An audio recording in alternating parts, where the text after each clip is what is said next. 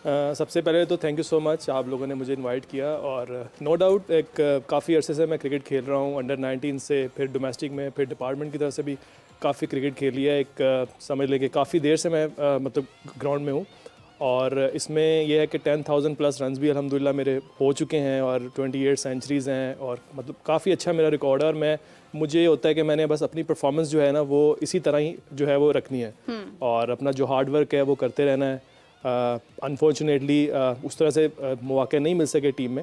हाँ. एक test match खेला था 2018 में पाकिस्तान के लिए। उसके बाद से जो है वो स्टिल परफॉर्मेंस कर रहा हूँ डोमेस्टिक में और वेट कर रहा हूँ। चांस का जैसे मिले और फिर पाकिस्तान के लिए खेलने का मौका मिले। और जैसे बाबर आज़म की आपने बात की बिल्कुल स्टेट बैंक की तरफ़ से मैं कैप्टन था और 2015 का आई थिंक ये सीज़न था। जिसमें बाबर हमारे लिए खेले थे। हम्म।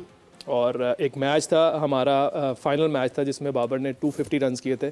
उसके बाद से ही बाबर को चांस मिले और माशाल्लाह तो नो डाउट वो वर्ल्ड वर्ल्ड क्लास प्लेयर हैं।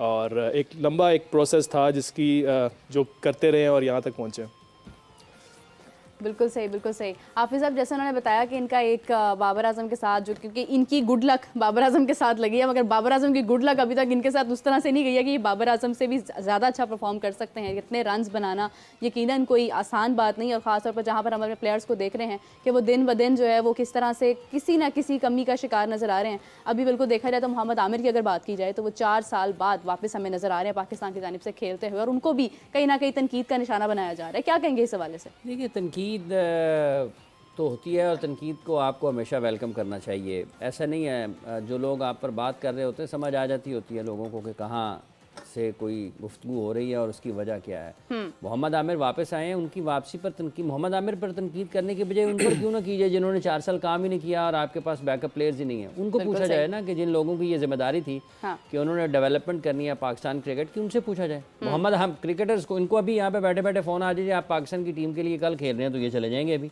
बिल्कुल ऐसे ही है मतलब प्लेयर्स तो अवेलेबल होते हैं ना दुनिया भर में लीग्स खेलते हैं इधर जाते हैं उधर जाते हैं कोई सी में खेलता है कोई बी में खेलता है कोई बिग बैश में खेलता है कोई कनाडा खेलने चला जाता है कोई लंकन प्रीमियर लीग खेलने चला जाता है कोई पाकिस्तान सुपर लीग में लोग खेलते हैं हम्म। ठीक है जी इसी तरीके से लोग और भी मुख्तलिफ़ जगहों पर अब अब तो रिटायर्ड प्लेयर्स की भी लीगें शुरू हो गई हैं वो भी खेलते हैं चार चार पाँच पाँच मैचेस वो भी खेलते हैं हाँ। तो तनकीद बुनियादी तौर पर उन फैसला साजों पर होती है जिनकी वजह से आपको मुतवादल प्लेयर्स नहीं मिले हैं मोहम्मद आमिर अगर वापस आए हैं तो ये उन पर तनकीद नहीं उनकी हौसला अफजाई होनी चाहिए कि उन्होंने चार साल तक इंटरनेशनल क्रिकेट से दूर रहने के बावजूद हाँ। अपने आप को इतना फिट रखा और चार साल वो उन प्लेयर्स से दूर रहने के बावजूद उनसे बेहतर गेंदबाजी करते हुए दिखाई दे रहे हैं जहाँ पे शाहीन आफरीदी हैं जहाँ पे शाहनवाज धानी है जहाँ पर मोहम्मद हसनैन है जहाँ पर हारिस रऊफ़ हैं जहाँ पर नसीम शाह हैं जहाँ पर जमान खान है ये वो खिलाड़ी हैं जो इंटरनेशनल क्रिकेट खेल रहे हैं हाँ। मोहम्मद आमिर इंटरनेशनल क्रिकेट नहीं खेल रहे थे। हम्म। इन सब के दरमियान में भी अगर मोहम्मद आमिर सबसे ज़्यादा लोगों को लगे ना कि यार ये अभी भी अच्छा है तो इनकी उम्र का और उनकी उम्र का फ़र्क देख लें। हाँ। इनकी क्रिकेट का इनकी फैसिलिटीज़ का और उनकी फैसिलिटीज़ का फ़र्क देख लें। हम्म। इनके एक्सपोजर का उनके एक्सपोजर का फ़र्क देख लें। एक्सपोजर से मुराद ये है कि इंटरनेशनल क्रिकेट कितनी खेल रहे हैं। हम्म। वैसे तो जहनी तौर पर वो इन सबसे मज़बूत है। ठीक है? और अगर इस उम्र में भी कि उनसे उम्र के लिहाज में इतने सीनियर होने के बावजूद भी वो इतनी अच्छी परफॉर्मेंसेज देते हैं तो इसका मतलब ये ये तो उनका क्रेडिट है। हम्म। ये उनसे छीना नहीं जा सकता। तो ये आ, इन खिलाड़ियों के लिए भी एक मोटिवेशन होनी चाहिए यार मोहम्मद आमिर अभी भी हमसे अगर वो कर सकते हैं तो हम क्यों नहीं कर सकते? बिल्कुल सही बात तो हम ये तो उनकी सलाहियत है जिसकी जिसकी उनको तारीफ़ देना चाहिए। तनकीद उन पर बनती है जिन्होंने चार साल तक काम नहीं किया।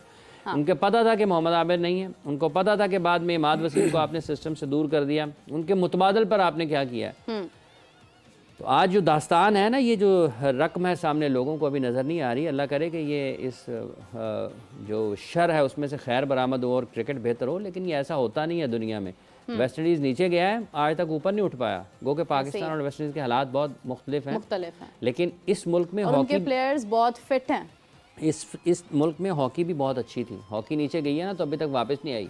और अब ये क्रिकेट को अपने हाथों से धकेल रहे हैं तबाही की तरफ़। अल्लाह ना करिए उस्मान साथ बैठे हैं ना। लेकिन मतलब अगर कोई खिलाड़ी दस हज़ार टेस्ट रन करके भी पाकिस्तान की टेस्ट टीम में नहीं आता पचास से ज़ायद उसकी सेंचुरियाँ हों अट्ठाईस से ज़्यादा उसकी अट्ठाईस सेंचुरियाँ मेरा ख्याल उनकी हों हाँ।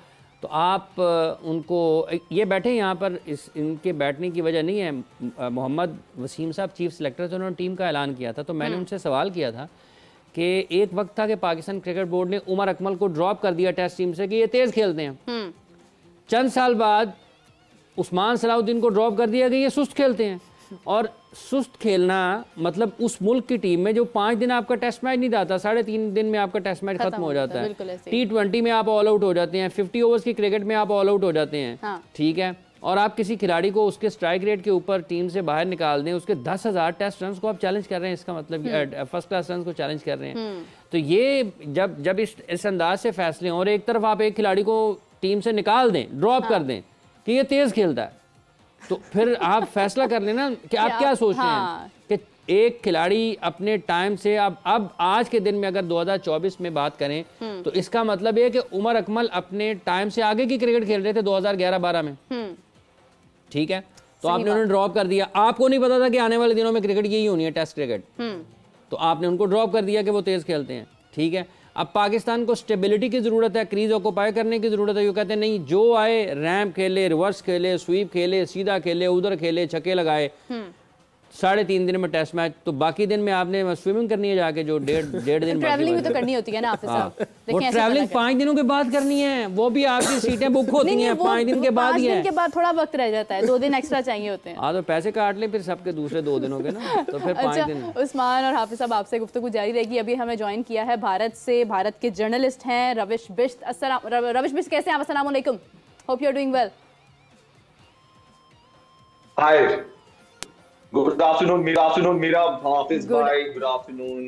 Afternoon fact. Good afternoon Ravish मैं आपसे जानना चाहूँगी हार्दिक पांड्या के हवाले से काफ़ी बातचीत हो रही है सुनने में आ रहा है कि रोहित शर्मा से भी कुछ उनके यू नो एक मुखालफत सी रह रही है और इसके अलावा उनकी परफॉर्मेंस भी काफ़ी हद तक अच्छी नहीं जा रही है तो क्या हम देख रहे हैं उनको वर्ल्ड कप में हाँ देखिए मेरा जहाँ तक हार्दिक पांड्या और रोहित शर्मा की बात हाँ, आते हैं। दोनों काफ़ी सीनियर प्लेयर्स हैं और दोनों ने मुंबई इंडियंस में काफ़ी सर्व किया है मुंबई इंडियंस को और उसके बाद हार्दिक जो है वो गुजरात टाइटंस गए वापस आ गए। हाँ। देखिए कई बार क्या होता है कि जो बड़े प्लेयर्स होते हैं और कैप्टनसी का भी इशू रहता है कई बार ईगो क्लैशेस में कह सकता हूँ लेकिन मुखालफत वाली बात कुछ मुझे नज़र नहीं आती है मुंबई इंडियंस के अंदर कि रोहित शर्मा और हार्दिक पांड्या जी बिल्कुल लड़ रहे हो। उसके पीछे रीजन ये है कि रोहित शर्मा बड़े मस्त बॉलर टाइप के क्रिकेटर हैं। आप उनकी बाइट सुन लीजिए उनकी प्रेस कॉन्फ्रेंस सुन लीजिए उनका नेचर ऐसा है नहीं। तो मुखालफत वाली तो कोई बात नहीं है। हालाँकि जब एक स्टेज आ जाती है आप बड़े प्लेयर्स रहते हैं एक टीम का कैप्टन है और उसको रिप्लेस करके हार्दिक पांडे को मुंबई इंडियंस का कैप्टन बनाया गया। हाँ। थोड़ी सी कह सकता हूँ मैं कि थोड़ी सी ईगो हो सकती है बट ऐसी मुखालफत या लड़ाई झगड़े वाली कोई बात नहीं है। Now regarding performance Hardik Pandya जो कि मैंने आपको कल भी कहा था कि हार्दिक पांड्या की परफॉर्मेंस ऐसी नहीं है इतनी अप टू द रविश आपकी आवाज़ में डिस्टॉर्शन हो। रही है काफ़ी। We can not listen you properly अभी ठीक है? जी। अभी ठीक है? जी जी। हाँ मैंने कहा कि हार्दिक पांड्या की परफॉर्मेंस ऐसी नहीं आई है। आ, लेकिन अभी आईपीएल का काफ़ी फ़ेज़ बचा हुआ है। अगर वो इस दौरान परफॉर्मेंस को इनहेंस कर लेते हैं और कुछ अच्छी परफॉर्मेंस देते हैं बॉलिंग वाइज भी और बैटिंग वाइज भी तो बिल्कुल उनको कंसीडर किया जाएगा। वैसे भी वो इतने बड़े प्लेयर हैं कि आप उनको साइडलाइन नहीं कर सकते। तो बड़े स्टेजेस के लिए आपको ज़रूर चाहिए होगा बट कैप्टन का वोट भी बहुत ज़्यादा इंपॉर्टेंट हो जाता है कई बार कि रोहित शर्मा क्या सोच रहे हैं उनको किस तरीके का फिफ्टीन चाहिए कैसा स्क्वाड चाहिए उनका वोट भी इंपॉर्टेंट हो जाता है but as I said Hardik Pandya जैसे बड़े प्लेयर को आप साइडलाइन नहीं कर सकते वर्ल्ड कप जैसी कैंपेन ठीक हो गया। रविश वैसे अगर बात की जाए वर्ल्ड कप की तो भारत क्योंकि अपनी क्रिकेट को बहुत बहुत ज़्यादा सीरियसली ले रहा है और हम देख सकते हैं कि उनकी जिस तरह से अभी आईपीएल जारी है और जो परफॉर्मेंसेस जारी हैं, आपको क्या लग रहा है कि टीम के अंदर कौन लोग जो हैं वो स्पेसिफिकली लाजमी तौर पर हमें अच्छा परफॉर्म करते हुए नज़र आएँगे?